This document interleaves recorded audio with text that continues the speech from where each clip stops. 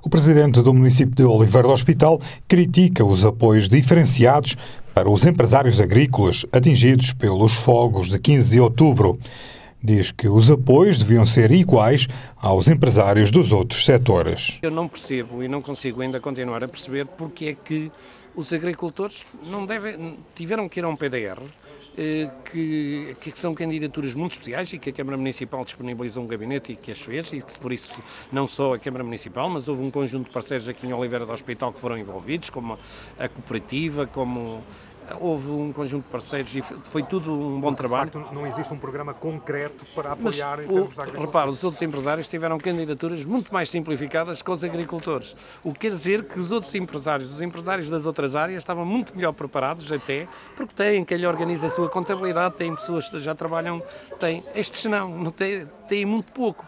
E depois não, não me conformo que que não houvesse dinheiro do Orçamento de Estado que também os igualasse em termos. Nós não podemos pensar que um empresário, por ser agrícola, por, ser, ter, um, por ter umas ovelhas e ter uma queijaria, que é diferente do outro. É um empresário, paga os seus impostos, aqueles que são, e por isso aquilo que eu acho é que eles deveriam ter, deveriam ser, ter sido tratados igualmente. E isso é verdade que não foram tratados como os outros, porque o que, que eles deveriam poder era fazer candidaturas de 85% sem limite, como é. E o que é que aconteceu? a 85% até ao limite de 50 mil euros. Isto não é justo.